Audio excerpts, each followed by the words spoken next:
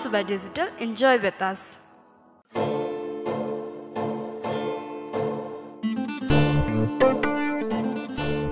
नमस्कार दर्शक वृन्द बिएम मनोरञ्जन समाचारमा यहाँहरूलाई हार्दिक स्वागत गर्दछु मनोरञ्जन समाचारमा मुख्य मुख्य समाचारहरू जब कसैसँग आफूभन्दा बढी माया हुन थाल्छ तब त्यो मायाले खुसीभन्दा बढी पीडा दिन थाल्छ चलचित्र ए मेरो हजुरचारको टिजर आउँदो शुक्रबार पुस तिस गते सार्वजनिक हुँदै। निर्देशक दिपेन्द्र के खनालको नयाँ चलचित्रमा भिट्रेनको अभिनय। बलिउड चलचित्र एनिमलमा अभिनेता विपिन कार्कीको अभिनय। चलचित्रमा रणवीर कपुर अनिल कपुर बबी देवल र परिणीति चोपडा लगायतको अभिनय रहने। साथमा अन्य मनोरञ्जन खबर।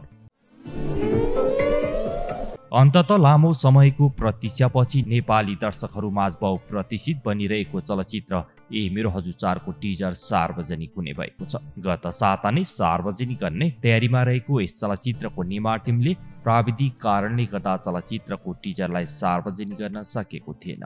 अब पनि नेपाली चलचित्रको रङ्गीन संसारमा चलचित्र ए मेरो हजुर तिनमा अभिनय गरेर अभिनय यात्रा सुरु गर्दै पहिलो चलचित्रबाट नै दर्शक र चलचित्र कर्मीहरूको मन जित्न सफल हुँदै एक स्टार नायिकाले चाहिँ पाउने चर्चा र सफलता बटुल्न सफल भएकी नायिका सुहाना थापा र नेपाली चलचित्रका मेगा स्टार नायक अनमोल केसी अभिनीत चलचित्र ए मेरो हजुर चारको टिजरलाई आउँदो शुक्रबार सार्वजनिक गरिन लागेको हो। नायिका तथा निर्देशक झरना थापाको निर्देशन र निर्माता सुनिल कुमार थापाको निर्माणमा निर्मित चलचित्र ए मेरो हजुर तिनमा आफ्नो सुन्दर अभिनय र नृत्यले सबैको मन जित्न सफल भएकी नायिका सुहानाको यो चलचित्र निर्माण कार्यदेखि नै चर्चामा रहन सफल भइरहेको छ।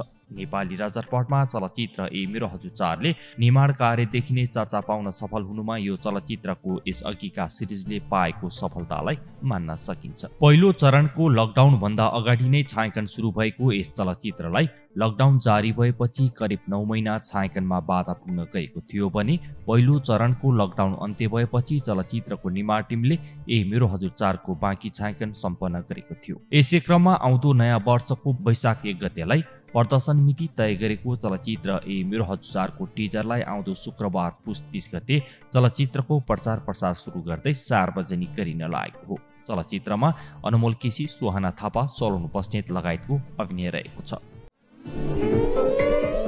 निर्देशक दिपेन्द्र के खनालको निर्देशनमा बन्न लागेको एक अनटाइटल प्रोजेक्टमा नेपाली साङ्गीतिक क्षेत्रका चर्चित भिटेनले अभिनय गर्ने भएका छन्। लामो समयदेखि म्युजिक क्षेत्रमा सक्रिय बुढासुपा म्युजिकले निर्माण गर्न लागेको यस चलचित्रमा अभिनय गर्नका लागि निर्देशक दिपेन्द्र र ऱ्यापर भिटेन बीच सम्झौता भइसकेको छ। बुढासुपाले यसअघि चलचित्र डाँडाको बरपिपल निर्माण गरेको थियो। निर्माता नवराज गिरीको निर्माणमा बन्न लागेको यस चलचित्रको नाम रत्न पार्क भने नभएको बताइएको छ। निर्देशक खनालले मैले र भिटेनले चलचित्र साइन गरिसकेका छौँ तर यो चलचित्रको नाम रत्न पार्क भने होइन। भिटेनले यसअघि बुढा सुब्बाकै ब्यानरमा बन्ने चलचित्र रत्न पार्क नामक चलचित्र साइन गरेका थिए। चलचित्रको कथा दिपेन्द्र आफैले लेखिरहेका छन्।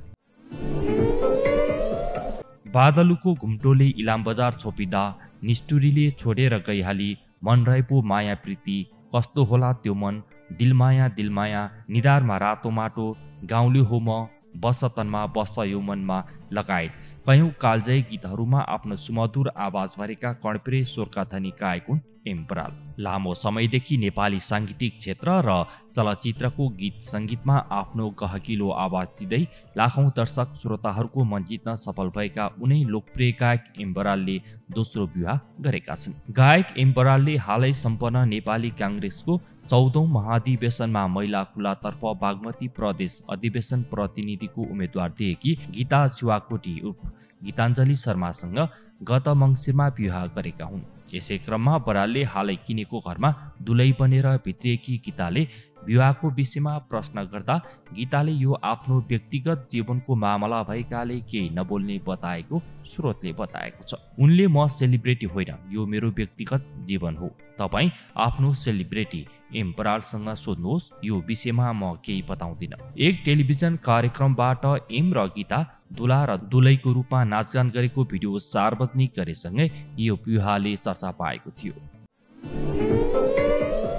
बलिउड सुपरस्टार अनिल कपुर रणवीर कपुरको प्रमुख भूमिका रहने बलिउड चलचित्र एनिमलमा नेपाली चलचित्रका भर्स्टाइल अभिनेता विपिन कार्कीले पनि अभिनय गर्ने भएका छन्। अभिनेता विपिन कार्कीलाई बलिउड चलचित्र एनिमलका निर्माण टिमबाट फोन आएसँगै उनले उक्त चलचित्रमा अभिनय गर्ने पक्का पक्की भएको हो। पहिलो पटक बलिउड चलचित्रमा अभिनय गर्न लागेका अभिनेता विपिनले पनि चलचित्रको छायाङ्कन जुलाई तथा अगस्तमा हुने बताएका छन्। साथै उनले आफूले बलिउड चलचित्र एनिमलमा काम गर्ने कुरो फाइनल भएको र आफूलाई आफ्नो चलचित्र सेल्फी किङ उक्त टिमले हेरेपछि अफर आएको बताएका छन्। औपचारिक सम्झौता हुन बाँकी रहे पनि निर्माण युनिटले आफूलाई ढुक्क हुन भनेको पनि विपिनले बताएका छन्। सन्दीप रेड्डी भाङ्गाले निर्देशन गर्न लागेको एनिमलमा रणवीर कपुर अनिल कपुर बबी देवल परिणिति चोपडा लगायतको अभिनय रहनेछ। निर्माण युनिटले चलचित्रको फर्स्ट लुक समेत सार्वजनिक गरिसकेको छ।